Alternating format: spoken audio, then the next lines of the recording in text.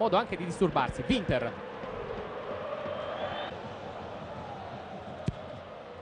Tagliato e è molto, è molto alta e il Milan Simeone, poi Giorcaeff è fuori gioco nei confronti di Ronaldo. Sì, in effetti Ronaldo era in posizione abbastanza... Si riparte da Colonnese. Ronaldo, un po' dimenticato dalla difesa del Milan. Punta Cardone, doppio passo, da parte dell'Inter se dovesse uscire perché un giocatore, il giocatore dell'Inter più dotato. Tanto in slalom Winter. Lancio di Giorcheff, ma c'era la bandierina alzata. Cardone, ho visto Cardone. Tanto qui stiamo rivedendo però. Qua scusate ma la posizione di Ronaldo era regolare. Riesce a controllare il pallone. Moriero. Ronaldo.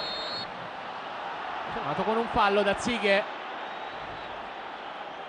A proposito di Giorgaev Massimo è difficile, arduo il suo compito questa sera perché deve dare manforte al centrocampo e deve cercare di sostenere Ronaldo, a volte è troppo isolato, lo cerca continuamente e, e come vedi, eh, non so se i nostri telespettatori l'hanno notato, cerca continuamente gli spazi Giorgaev. Sono 5 uomini in barriera, prova Ronaldo, pallone che si impenna, sarà calcio d'angolo. Riesce a fermare Moriero, va incontro proprio Ronaldo. Avevano fatto temere addirittura una sostituzione. Moriero va in slalom eh, Ronaldo e poi il signor Bazzoli facendo che si può proseguire perché non c'è stato contatto. È la sensazione che ho avuto anch'io, devo dire. Aspettiamo una, una, una, una, ripetizione, qua rivediamo, perché se ne va poi ho avuto la sensazione che non sia stato contrastato. E in effetti non lo tocca Maldini. No, non lo c'è stato un fallo successivo però, attenzione, perché il calcio di punizione è per l'Inter. Sì, ma non per l'intervento no, no, no, che stavamo descrivendo subito da Ronaldo. è accaduto poi sugli sviluppi dell'azione. Esatto, avevamo visto bene, aveva visto bene anche Bazzolo in questo caso qua, perché Ronaldo del passo. L'Inter ottiene comunque un eh, calcio di punizione, posizione centrale. Giorca F, filtrante Ronaldo. Uno degli attaccanti, Guea più punta e Clivert più dietro. Ronaldo. Al centro va addirittura Simeone. La prende con i compagni che non lo seguono per la disposizione del muro Rossi. Prova ancora Ronaldo. C'è ancora una deviazione. Non quadrava nel Milan. Si cerca più velocità in questo secondo tempo. Per dare di più eh, Albertini. Non è... In agilità Moriero. Colpo di tacco. Tornare la carica per l'Inter taglia il campo dove c'è Ronaldo. Sale anche Sanetti apre il varco centrale al brasiliano. Simeone per Ronaldo. Scatta Giorca F largo c'è Moriero. Arriva Winter. Eccolo Moriero. Tunnel. Ai danni di Zighe. Poi fermato Ronaldo da Maldini con un fallo. Altro cartellino giallo è certo che Moriero Zighe soffre, soffre Moriero, lo ha sofferto nel derby d'andata, soffre la sua rapidità, è chiaro che è un passo, è un passo diverso, ma è un giocatore che soffre terribilmente, ricordo il primo tempo, il primo tempo del derby d'andata, comunque è un giocatore direi che è una grande rivelazione, eccellente il contributo che sta dando questa sera e poi in tutto l'arco del campionato Moriero, Checco Moriero alla squadra interista. Qua rivediamo l'intervento di Maldini, indubbiamente meritevole di sanzione di di Moriera, attenzione a Ronaldo, punizione deviata e anche in questo caso è un brivido.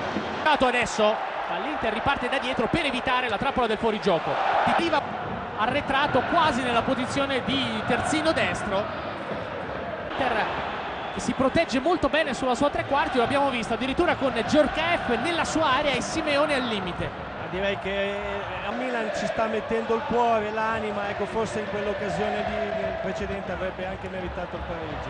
Lancio di Simeone, attenzione a Ronaldo, anticipo perfetto a Ronaldo che va a battere il calcio d'angolo.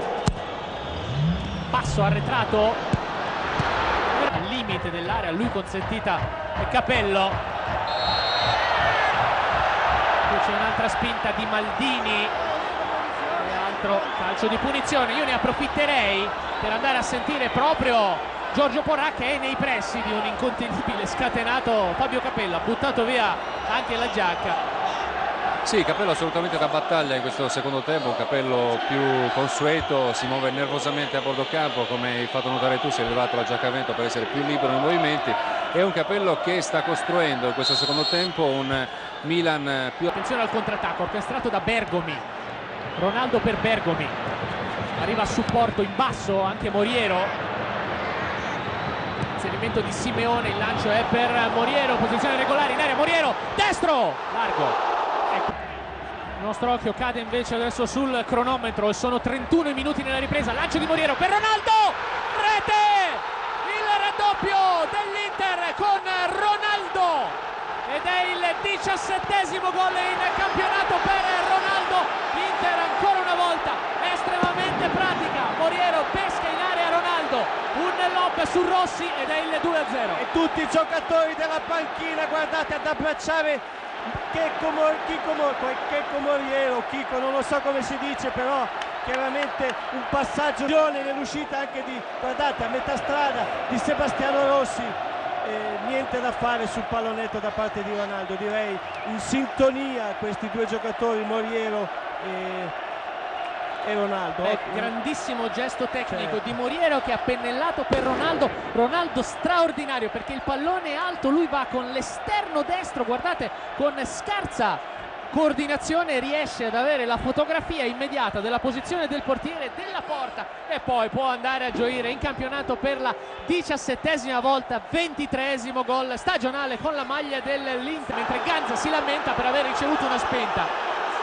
Ha ricevuto una spinta da Bergomi ma non mi sembrava assolutamente una spinta da poter sancire con un calcio di rigore, assolutamente. Tra l'altro molto nervoso anche Maurizio Ganza etichettato come il tradito nel mucchio è stato Bergomi a giganteggiare su tutti. Ronaldo si distende manda dentro anche Canu.